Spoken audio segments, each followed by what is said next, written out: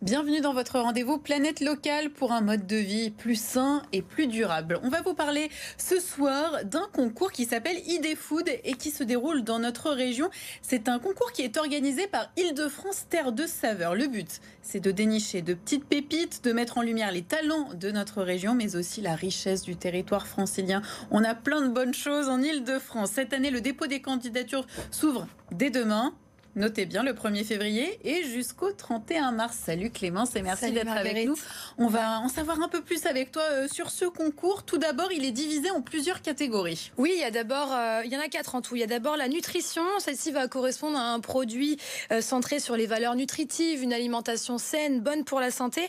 La deuxième, c'est conception durable. Là, c'est pour les produits éco-responsables et donc centré sur l'anti-gaspillage, la revalorisation des déchets, la réduction des emballages notamment Ensuite, il y a agriculture innovante, comme par exemple les technologies robotiques et numériques pour l'agriculture. Et enfin, le 100% francilien, afin de mettre en valeur évidemment le savoir-faire dans notre région. Et qui peut participer au concours Alors, toutes les entreprises franciliennes hein, qui ont un lien avec euh, l'alimentation, une alimentation responsable et locale, c'est-à-dire les entreprises artisanales, les exploitations agricoles, la restauration, qui inventent de nouvelles façons de mieux manger. Je vous propose d'écouter à ce sujet Gérard Hébert, le président d'Île-de-France Terre de Saveur. Le concours sert à, mettre en avant les produits innovants euh, qui, se passent dans, l'île de France et puis on les suit euh, derrière, on, les aide. Déjà, ils reçoivent un chèque de nos partenaires et puis on les suit afin qu'ils puissent lancer leurs produits, ce qui n'est pas toujours facile pour des petits producteurs. Vous savez, euh, l'île de France est l'île de France est très grand, contrairement à ce qu'on peut penser. Il n'y a pas que Paris et les Champs Élysées. Il y a aussi toute cette superficie. Je rappellerai simplement que 50% de la superficie francilienne est agricole et, et, et, il y a beaucoup de choses qui sortent de la terre et c'est notre rôle que de mettre en avant euh, tous ces produits. Et oui, vous avez bien entendu, un 50% de la superficie de notre région est agricole. C'est aussi pour cette raison que cet événement a été lancé il y a 14 ans. Il a lieu tous les deux ans. Cette année, c'est la huitième édition et depuis sa création, 364 innovations ont été mises en lumière et 31 lauréats ont été récompensés. Justement, Clémence, je crois que tu as des lauréats à nous présenter de bons produits franciliens. Oui, des lauréats de, de l'édition précédente, donc de 2020. Marguerite, je te présente l'un des seuls producteurs de fromage implanté en plein euh, Paris, plus précisément dans le 18e arrondissement. Dans, arrondissement pardon, ça s'appelle Laiterie La Chapelle. Alors, évidemment, les vaches, elles qui produisent le lait, ne sont pas implantées en plein Paris, mais elles sont franciliennes. On les aurait remarquées. Ouais. Elles, elles sont implantées dans le Val d'Oise. Donc, ça donne quand même du fromage au lait cru 100% francilien.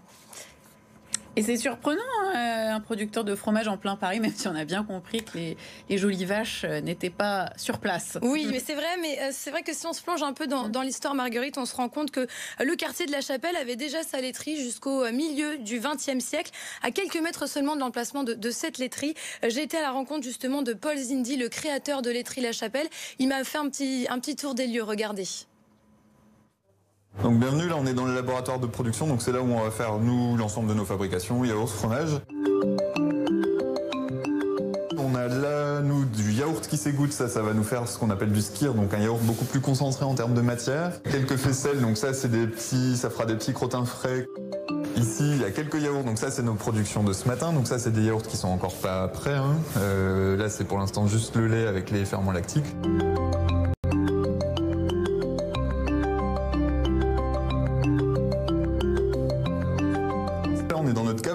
C'est là où on va garder en fait euh, tous nos fromages pour qu'ils prennent du goût. Donc on les rentre à 24 heures après fabrication et ils vont y rester entre 2, 3, 4, 6, 8 mois selon les types de fromages.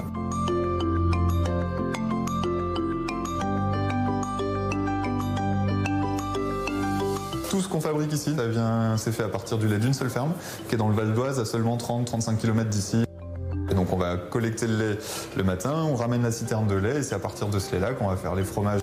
L'idée, c'est que 100% des produits qu'on vend dans la boutique sont faits par nos soins, transformés sur place, affinés éventuellement sur place, avec le lait d'une seule ferme, du coup le plus local possible. On est vraiment au circuit très court entre l'éleveur, la laiterie et puis nos clients qui viennent en direct à la boutique. Le bénéfice d'être en circuit très court qui permet par exemple de travailler en consigne. C'est-à-dire que si, on vient acheter un litre de lait chez nous, plutôt que l'avoir dans une bouteille plastique qu'on va jeter, on met ça dans des bouteilles en verre. Le client paye sa consigne. Quand il revient, on lui rembourse sa consigne, on lui déduit. En fait, ça fait un cercle assez vertueux. On échange les vides contre les pleins, et ce qui permet de voilà d'essayer d'avoir un système le plus cohérent possible entre la source de production, la transformation et puis la revente derrière.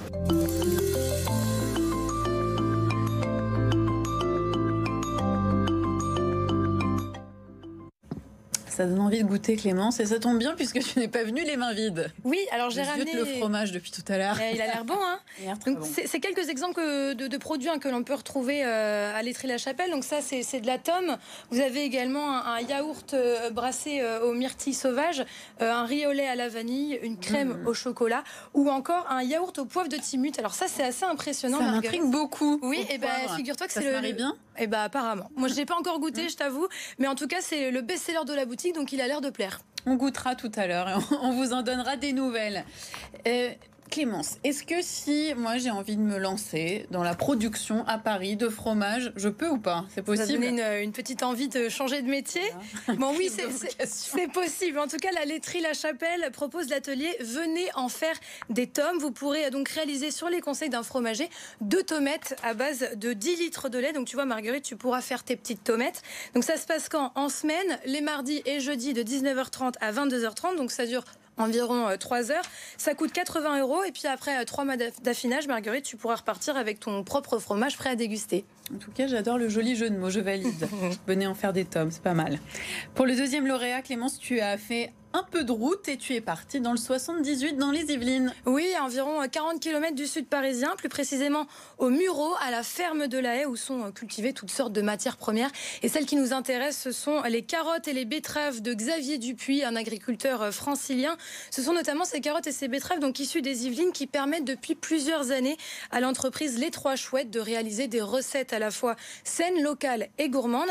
Et parmi elles, le ketchup Orange Splash à la carotte et au gingembre. C'est ce produit qui a remporté en 2020 un prix au concours des Food, notamment euh, pour sa capacité à contenir deux fois moins de sucre que les autres ketchup.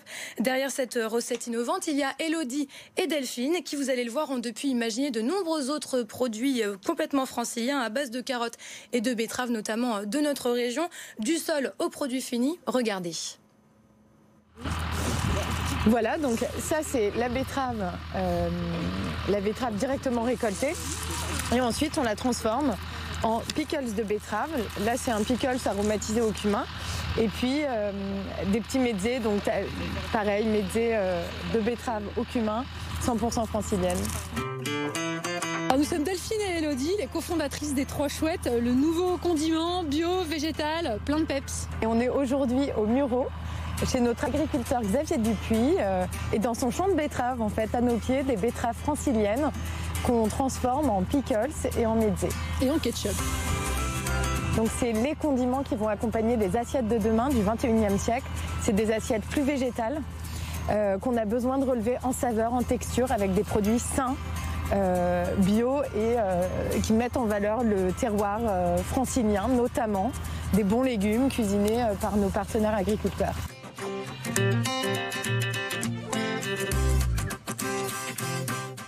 Xavier, comment on t'a rencontré? Je me souviens, en fait, euh, on cherchait des légumes d'Île-de-France et j'étais là, euh, je tapais dans Google euh, carottes Île-de-France. Et à un moment donné, je tombe sur quelqu'un présenté comme Xavier Dupuis, le roi de la carotte. Le roi de la carotte. Exactement. Et là, et là, il faut qu'on le rencontre, quoi. Et, ben voilà, et voilà, donc on t'avait trouvé, on t'a pu lâcher.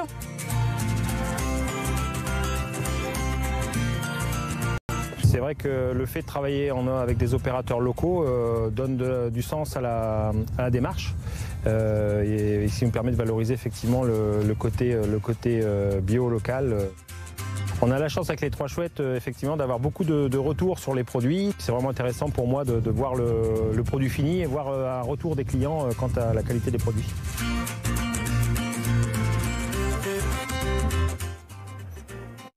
Ce sont donc des produits 100% 100% francilien qu'on a là, Clémence. Oui, alors je t'ai ramené quelques échantillons qu'on a pu voir dans, le reportage. Je, suis comme ça. Donc bien. On mange bien dans Bonsoir. Bah oui, on se fait plaisir. Euh, il y a donc le, ketchup orange place dont je vous parlais tout à l'heure qui est là. Alors malheureusement, je connais pas le prix, mais je sais que sur le site des Trois Chouettes, il est euh, vendu euh, en coffret. il y a également les pickles orange Aphrodite qui eux sont à 5,20 euros. Les pickles bio Mister Purple au même prix et le mezze bio betterave partie à 4,70 euros. À noter que tous ces produits sont emballés dans du verre pour éviter le plastique à usage unique. On est bien du début à la fin et en plus, on mange sain. Merci beaucoup Clémence de nous avoir présenté tous ces produits. Le concours ID Food, vous pouvez vous y inscrire. Vous pouvez déposer votre candidature donc dès demain et jusqu'au 31 mars. C'est sur leur site, vous tapez ID Food et vous le trouverez très facilement. On passe aux trois infos.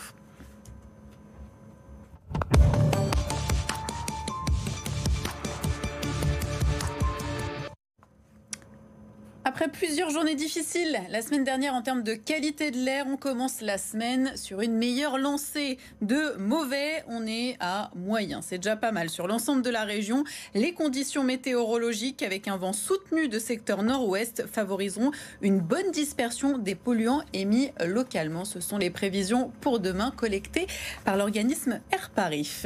On passe à l'événement vert de la semaine, ce concours pour les petits franciliens des Yvelines sur le thème des insectes. Vous pouvez si vous habitez ou si vous êtes scolarisé dans le département, si vous avez entre 3 et 15 ans. Voici le bulletin de participation. Il est très mignon. Une grille de mots à remplir et un dessin ou une maquette à faire sur le thème Nos amis, les insectes pollinisateurs. C'est très précis. Vous pouvez vous inscrire et retrouver les règles sur le site de l'association Yveline Environnement. Les lauréats recevront des petits cadeaux tels que des livres ou des bons pour des sorties éducatives, évidemment sur le thème de l'environnement.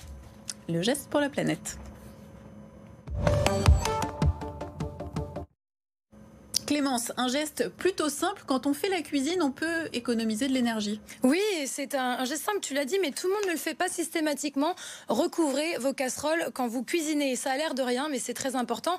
D'abord, ça vous faire gagner du temps parce que l'eau, par exemple, va bouillir plus vite, mais ça peut aussi vous faire consommer euh, de l'énergie. La cuisson peut représenter environ 8% de la consommation d'un ménage qui cuisine en utilisant l'électricité, selon l'ADEME.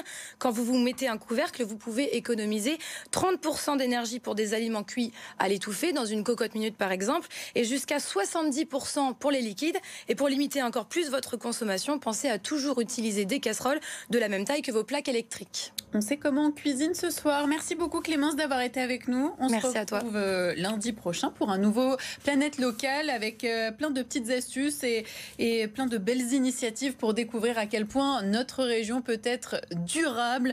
Euh, voilà, on est avec vous pour ça dans Bonsoir Paris. Demain, tout autre sujet, c'est Paris Business. On recevra la Solidéo qui est chargée euh, des constructions pour les Jeux Olympiques 2024 à Paris. Si vous avez des questions euh, à leur poser, n'hésitez pas. Voici notre numéro de téléphone, le 06 13 02 46 93. Vous pouvez aussi nous faire parvenir euh, toutes vos idées d'initiatives dans notre région. Si vous lancez un business, par exemple, sur notre adresse mail témoin avec un s at bfmparis.fr.